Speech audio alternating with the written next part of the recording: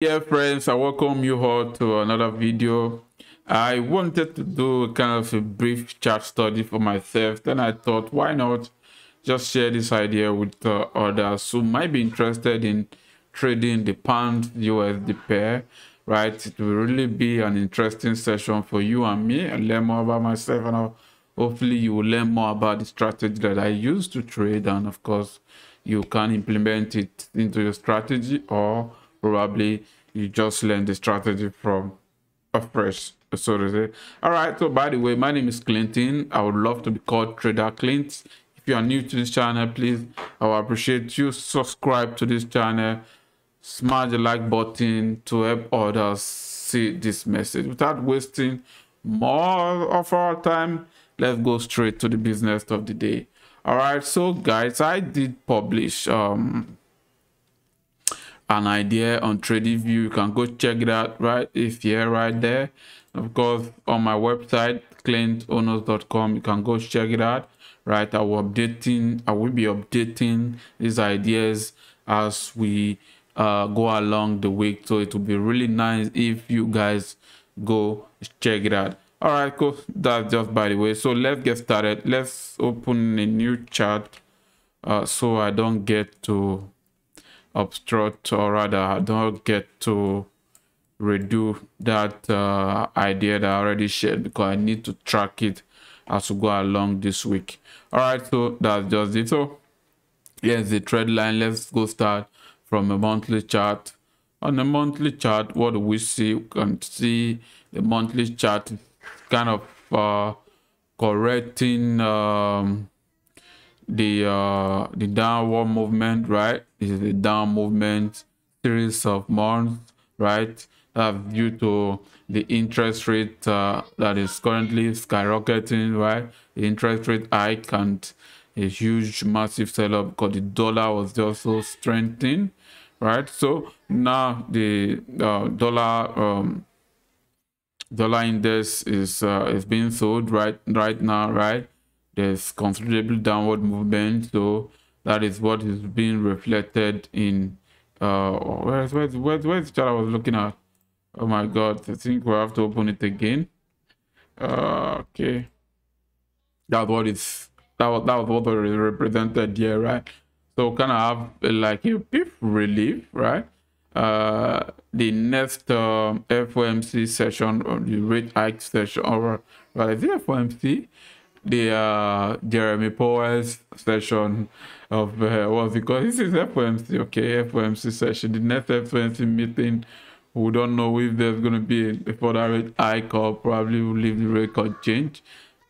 Are they going to continue being hawkish or dovish? Who knows? Let's wait and see. So, you can see, we are currently heading slightly upward, right? kind of correcting this move and that's the huge price uh, movement if you are considering uh, the lower time frame. So we can clearly see the last four months has been bullish. So I likely see a bullish uh, pressure and probably until we get to um, somewhere around here. That it might be a resistance somewhere around here. Okay that might likely see price reversing we were considering this uh, monthly chart. So going down to um, the weekly chart the weekly time frame let's clear the drawing. What can we see here? All right uh, we see uh, similar to what we saw on the uh, monthly time frame right? The hub trending right? So you can clearly see the price is the price just cleared this region right? Close above it. So we should see a considerable movement to the upside right?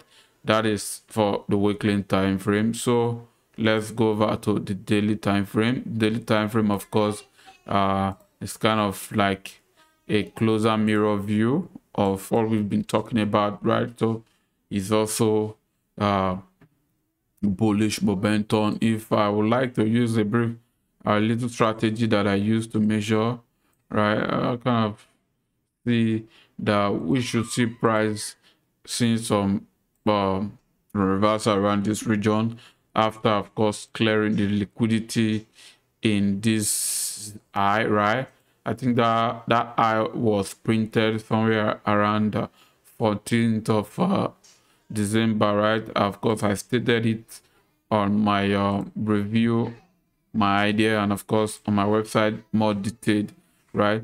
You can go check it out clintonos.com right? You can go check it out. So that's that for the daily.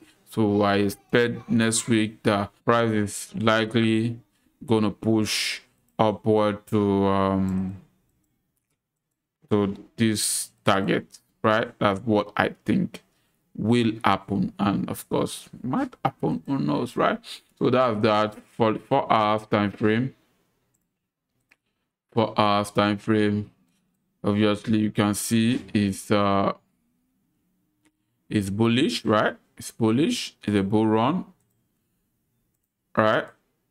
After the spike, so a spike here.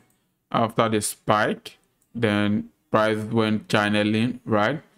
So, uh, if price break this trend line, my likely see price coming to rebalance this um this uh, uh what was it called there now this uh inefficiency so to say kind of like price correcting this uh, at least 50 percent level market likes to do that a lot so i'll expect that price is uh price is going to come to somewhere around uh 1.2 20 to 33 and of course probably the uh, the psychological level, the big number at 1.2. Who knows? Of course, it's just a forecast. Price might just continue break this and continue upward without even looking back. But having that in mind is also good, right? Or the price has been bullish. At least uh, we expect uh, a kind of a retest, retracement, whichever one you want to call it, right? A retracement, a correction to happen, which also stated in this idea published here.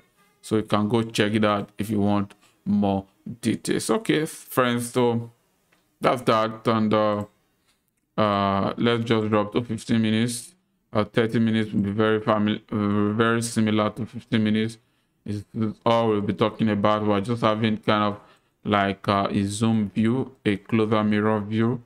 So here, if you followed what I discussed last uh, last week, course, I told you guys that I exited my my trade somewhere around. I think okay, no, I didn't enter a trade at all on Friday, but on Thursday I exited my trade early because uh, not early, so to say, the price wasn't moving and I have limited time because I needed to do something else, so I had to exit my trade break even so and uh, friday i didn't trade because i was hoping the price is going to do what i want right right price has to do what i want what i think it should be doing before i engage so what i thought was price is going to is going to uh, close uh, below this level then the reversal pattern of course price did close below this level, but there was a breakout, right? What I mean breakout is here,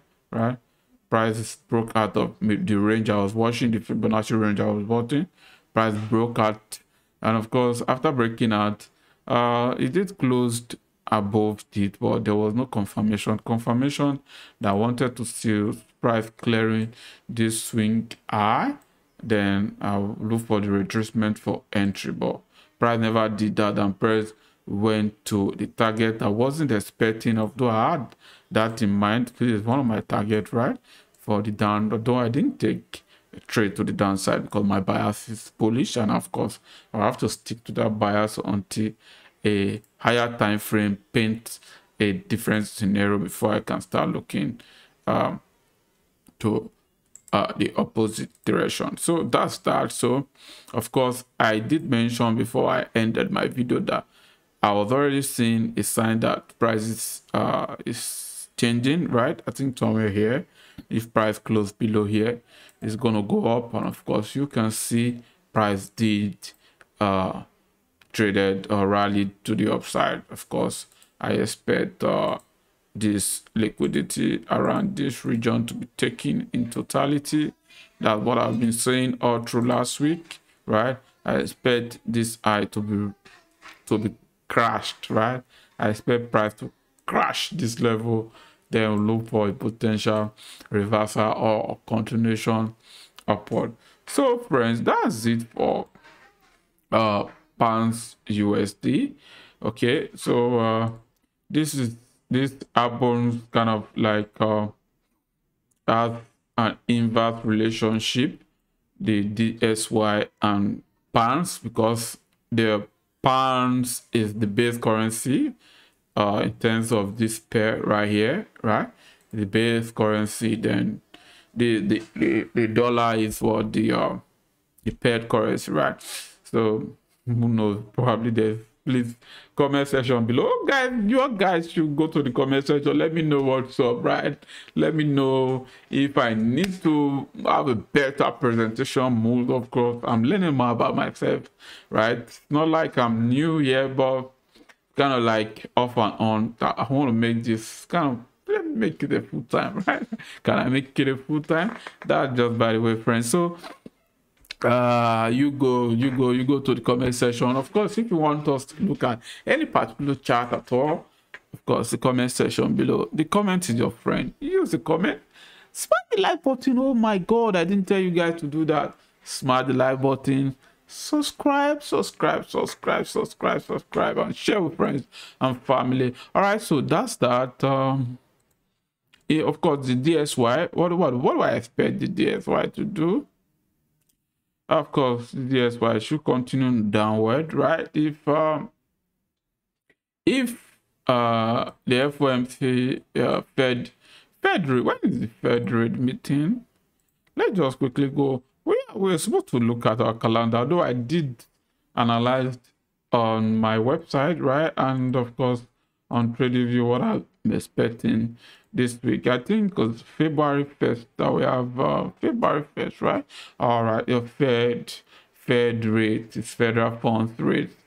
Not like FOMC also. Is that FOMC, right? Federal. Is it or was it Federal Open Market Committee, Monetary Policy, whatever? I'm an economist, but a lot to think about than to start putting all this into whatever.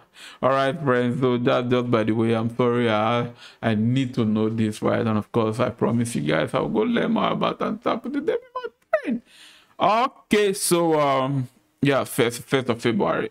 So first of february they leave the rate or change right that would be really good news for the market at least we know that that is the peak and of course the the sell pressure will be more more than this that we are currently experiencing, right? Really more, right? I think that's more, of course, that's going to push uh, this currency pair, if currency pair, more bullish, right? Of course, the Nasdaq is going to ah, now Nasdaq is going to have a really good fun time, right? Of course, uh, SPS, all the index, and of course, uh, I think the Bitcoin Bitcoin should also see a really nice bull, bullish uh, bullish pull. Oh, do do we do another pair, right? I like sticking to a single pair. Although I have marked these pairs, they are my favorite, right? Because they are widely traded and the volatility sometimes is good, right?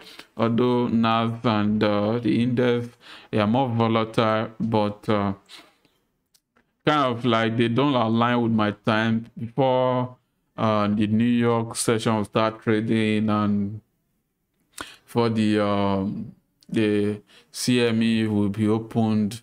I'm very tired by then because of other activities that I need to engage. So I like that money rush, and that money rush is usually on pound USD. Just take the money rush.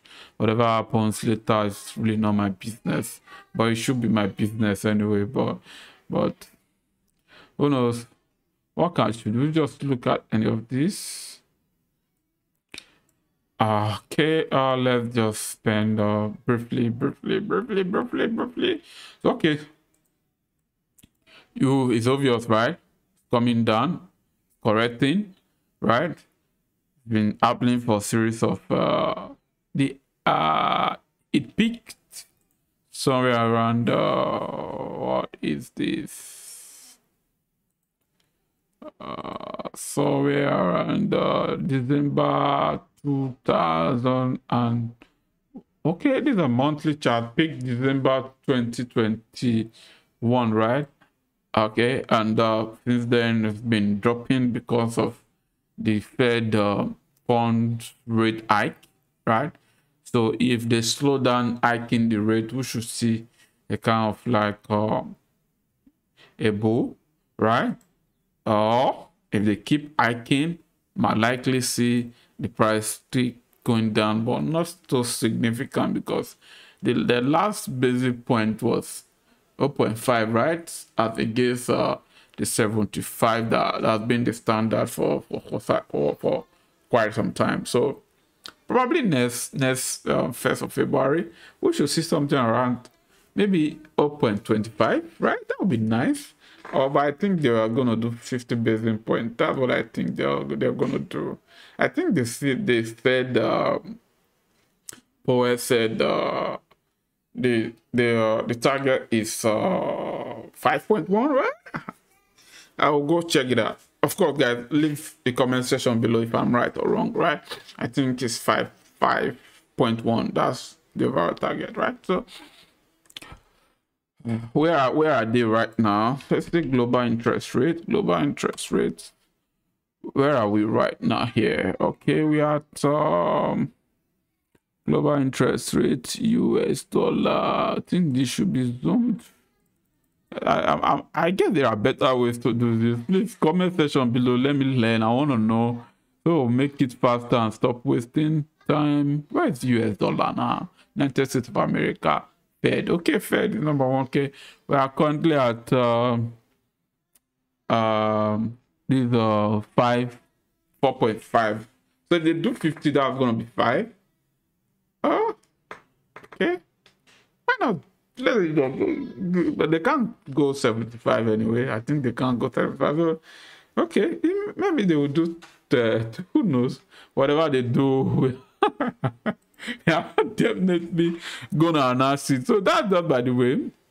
You kind of like see uh the price is holding at this up uh, this uh the support level, right? As we're seeing right now, the weekly time frame, the support level, right? So price is bouncing off, retested, price reached for reach, grab this liquidity, bounce off, retested, is bouncing off again. So might likely see a continuation to the upside right next week. Although ah okay. Uh, this looks too clean. Mm. I might push down. Who knows? But I think it's going to continue upward to um, somewhere around this level right? If I want to be accurate I think I should do a measurement of this. Okay, somewhere this fire kind of like the complete before I know the target. So somewhere around here, around uh, 12 490, 12 490 there. Price might likely reach for 12 490, clearing this liquidity reach for but this low, this low is too tempting too tempting from the market maker. I would like to do this. Then push up, grab everybody here, push up out. Fortunately, I'm not the market maker, right? So whatever they want to do, we'll follow them along, right? So that's that, that's that, that's that. And uh that's a similar, right? You just have a closer view and make better and informed decision what I can see here, right? What I can see here, looking at this, if I am to use uh, my measurement, use my measurement for four hours, I think we should see a reversal already. for us yeah obviously obviously obviously but we already the first target already hit right second target is here price is going to come here because final target is here uh, what I think is going to happen, I think it's going to continue because this pressure is really, really much. So we should see a continuation, also a pushback to this level before the continuation, right? But as it is at the moment, right? Uh, if I were to be long for hours time frame, I should have exited my position somewhere around here. That if I'm patient enough to wait that long, I should I've uh, my position here. Then, um, although we can't just say this is going to reverse yet because we are yet to close above this target, right? It's really better if price close above it, right? Then do what I mean is this last bullish bar for hours time frame closed above this target. Am i accurate? I think i have to check this. Okay pardon me guys. Let me see all right guys if you haven't subscribed please do that right away okay okay i think i think uh okay right there Wow, wow. So we already closed um we already closed above it. Of course, we saw this rejection. Ah man, I would love to see um price this level holding then price to just I want to see the NAS coming down. Okay, I don't know. Probably oh oh oh that that looks really kind of dicey. That's why i think this region is just not too too nice for me. I believe i really don't know. I think i need more information about the moment this consolidated for a very long time around this region right so price might likely stick until we have a clear path for the fed right primary just consolidate around this level, then break out. Who knows? Who knows? Who knows? But from what I see for us doing right now, first target, if you're taking the first target, so my likely just take this eye, then push down, kind of like uh, ABC correction, then probably before we move upward, right? That's what I think. So I should be rooting for the second target, right? Should be rooting for the second target somewhere around here. So price might like likely see rejection around this level, push to this level, right? Then maybe leave all this liquidity and push upwards. Okay, so I think that that's reasonable to, to think, that's reasonable to project, right?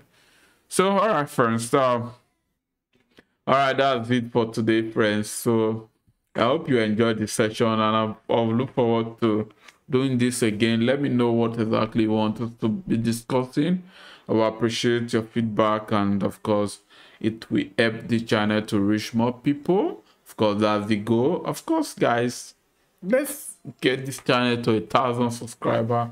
That will be so grateful if you can help me do that. Just smash the like button like the video recommend the video to your friends and family. And before you look we'll be at 1000 that will really mean a lot to me friends. I would really appreciate if you do that. So